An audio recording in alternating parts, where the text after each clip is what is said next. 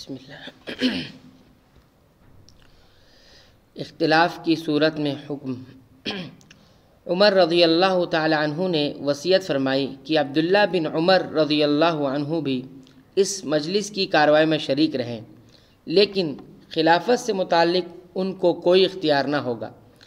अगर इन छः अफराद में से तीन एक शख्स को मंतखब करें और तीन दूसरे को तो ऐसी सूरत में अब्दुल्ला बिन उमर रज़ी अल्लाह को हकम, यानी फ़ैसल, बनाया जाए।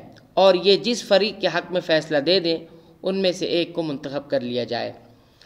और अगर लोग अब्दुल्ला बिन उमर रज़ी अल्लाह के फ़ैसले से राज़ी ना हो तो उस फरीक के साथ हो जाओ जिसमें अब्दुलरहमान बिन औफ हों, और उनकी तोसीब में फ़रमाया अब्दुलरहमान बिन औफ बड़ी अच्छी राय वाले हैं, सीधे रास्ते पर कायम और हिदायत याब हैं। अल्लाह की तरफ़ से उनकी हिफाजत होती है, लिहाजा तुम उनकी बात मानो। उमर रज़ी अल्लाह तु ने अबू तलहा अंसारी रज़ी अल्लाह को बुलाया और उनसे कहा, अल्लाह ताला ने तुम्हारे ज़रिए से इस्लाम को इज़्ज़त बख्शी। लिहाजा तुम अंसार में से पचास अफराद को मंतखब कर लो और उन्हें मुस्तैद रखो, यानी तैयार रखो। यहाँ तक कि ये लोग अपने में से एक शख्स को खिलाफत के लिए मंतखब कर लें। और मकदाद बिन असवद रदी अल्लाह से कहा, जब तुम मुझे कब्र में रख दो तो उन लोगों को किसी घर के अंदर जमा कर देना, ताकि ये अपने में से किसी को खलीफा बना लें।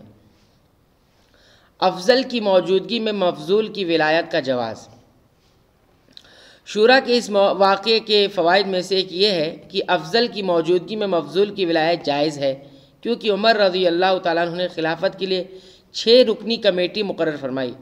हालाँकि आप बखूबी जानते थे कि इनमें से बाज़ बाज से अफजल है। और इसी तरह मुख्तफ इलाक़ों और शहरों में उमर रज़ी अल्लाह तु ने जो उमरा और वालियान मुकर फरमाए, उनसे भी इसका जवाज़ मिलता है। आप सिर्फ़ दीनी फजल का ख्याल नहीं करते थे, बल्कि उसके साथ सियासी बसीरत और मारफत का भी आप ख्याल रखते। चुनानचा आपने मुआविया, मुगैरा बिन शोबा, अमर बिन आस रज़ी अल्लाह को अमीर वाली मुकर फरमाया, जबकि दीन और इल्म में इनसे अफजल लोग मौजूद थे। जैसे शाम में अबू दरदा रज़ी अल्लाह और कोफा में अब्दुल अब्दुल्ला बिन मसूद रज़ी अल्लाह खलीफा की तयन और अदम तयन। उमर रज़ी अल्लाह तु ने खलीफा की तयन और अदम तयन, जैसा कि अबू बकर रज़ी अल्लाह ने उम्मीदवार की तयन फरमाई और अलैहि वसल्लम ने अदम तयन के दरमियान जमा किया। चुनानचा छः अफराद को मुकर करके, उनसे खिलाफत के सिलसिले में मशरा करके अपने में से एक को मंतखब करने का फ़ैसला किया। शूरा सिर्फ़ छः अफराद के दरमियान महसूर। उमर रज़ी अल्लाह तु जानते थे कि शूरा सिर्फ़ इन्हीं छः अफराद के दरमियान महसूर ना होगी, बल्कि खलीफा किसको बनाया जाए, इस सिलसिले में अहल मदीना की राय मालूम की जाएगी। चुनानचा आपने उनके लिए तीन दिन की मुद्दत मुतन फरमाई, ताकि वो इस मुद्दत में मुशावरत और उनकी राय मालूम कर सके।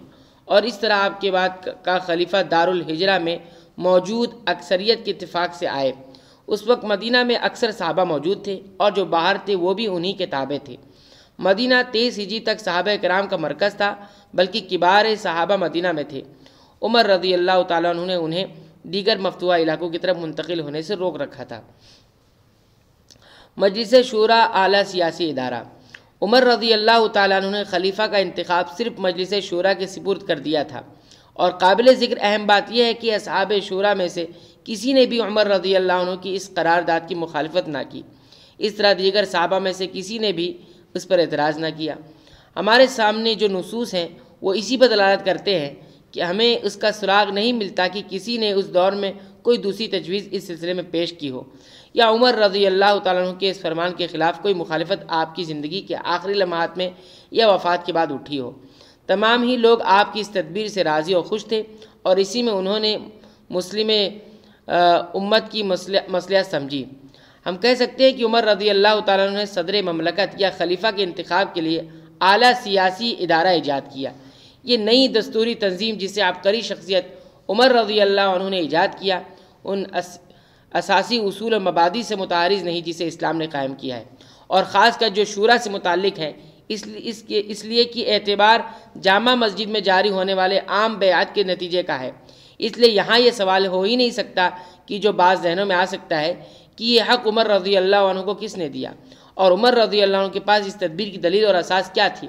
हमारे लिए सिर्फ़ इतना काफ़ी है कि मुसलमानों की जमात ने इस तदबीर को कबूल किया, उसको पसंद किया और उसके ख़िलाफ़ एतराज़ की कोई आवाज़ ना उठी। और हमें यह बात यकीनी तौर से मालूम होती है कि इस तदबीर के सेहत और नफाज पर इजमा मुनद हो चुका था, जो मसादिर तशरी में से एक बुनियादी मजदर है। हमें यह नहीं भूलना चाहिए कि उमर रज़ी अल्लाह खलीफ़ राशिद है और हमें यह भी यकीन करना चाहिए कि मजलिस मजलिस शुरा आला सियाती, सियासी इदारा है।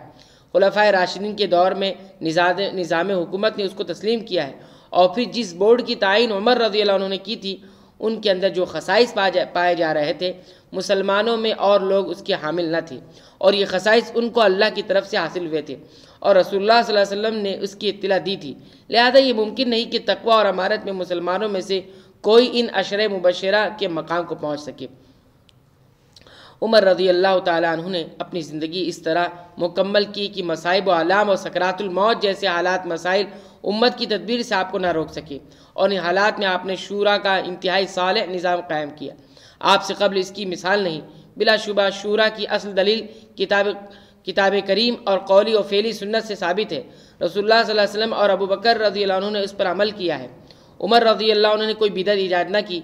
उमर रज़ी अल्लाह ने जो कुछ किया, वो ये कि खलीफा के इंतखब का तरीक़ा मुतन फरमा दिया और जिन हजरात में से खलीफा मंतखब हो, उनकी तादाद महदूद कर दी। और ये चीज़ ना तो रसूल वसल्लम ने की थी और ना अबू बकर रज़ी ने। इसको सबसे पहले करने वाले उमर रज़ी अल्लाह हैं। जिन्होंने उसे किया ही खूब खूब किया।